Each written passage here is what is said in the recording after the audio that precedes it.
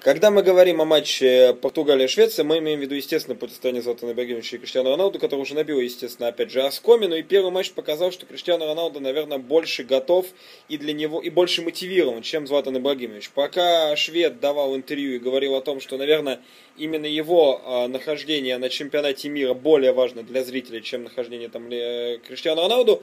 А Роналду просто тренировался, просто находился в великолепной форме в мадридском Реале, и в результате именно он забил мяч.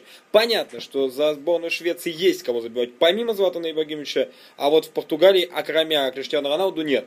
Но вот, наверное, то тот огромное количество критики, которое сваливалось на португальца в связи с тем, что он вроде как не тащил собственную сборную и не вытягивал ее, хотя, по-моему, Евро 2012 э, эту историю опровергла, и мотивировал португальца попасть на чемпионат мира. Плюс ко всему его не попадание а на Мундиале, естественно, добавит вестов тому же Запубатору, который обозвал его генералом, и еще раз добавит хейтерам огромного количества возможностей посмеяться. В то время как над Златаном Ибрагимовичем смеяться не принято. Во-первых, наверное, он может и по мордасам надавать, а во-вторых, все-таки Швеция не воспринимается в умах общественности столь сильной сборной, как Португалия. Хотя, если посмотреть, все выглядит ровно наоборот. Что касается конкретно матча, естественно, шведы начнут биться. А плюс ко всему, Златан Ибрагимович мотивирован до полной. И, наверное, больше будет брать игру на себя, что не было в первом матче, как мне показалось. Но а, то, что, а, во-первых, есть некое преимущество. Во-вторых, э, меня удивило